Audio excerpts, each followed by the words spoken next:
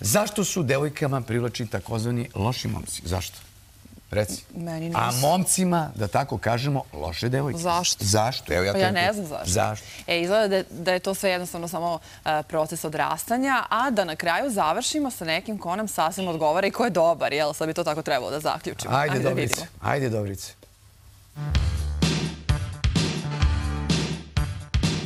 Kada kažemo loš momak, ne mislimo na kriminalca, već na zavodnika i mangupa koji nam malo udara čežnju.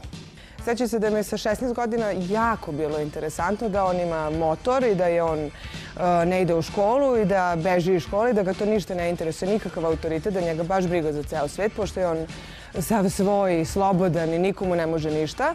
A to što malte ne nije pročitao knjigu u životu, što nema nikakvu ambiciju sve toga, toga da se voze motorom po kraju, to me ništa nije zanimalo.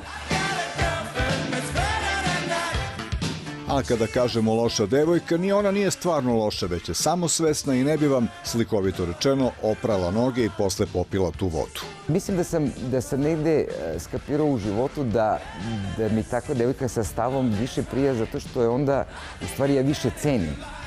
Jer ako je ona pokazuje nekakav stav e, do koga stoji, koji se protivi negde mom nekom stavu, onda ja možda sam u tom momentu nezadovoljan ili ljut ili ne znam ja, ali sigurno onda imam jače poštovanje prema njoj Naše interesovanje za loše momke i devojke zapravo je samo deo procesa odrastanja. Često se dešava da osobe sa 50 godina nemaju razvijen taj identitet i integritet koji uslovljavaju zrelost. Ne znaju ko su, ne znaju šta su, pa tako malo lutaju, probaju, imaju strah od vezivanja recimo i onda tako menjaju često, ne znaju prosto kakav im se devojka sviđa, šta im se sviđa. U svakom slučaju, za zdravu vezu, najvažnije je sačuvati sobstvenu individualnost. To samopoštovanje se reflektuje i na poštovanje. To koliko poštujem sebe, poštovaću i drugu osobu.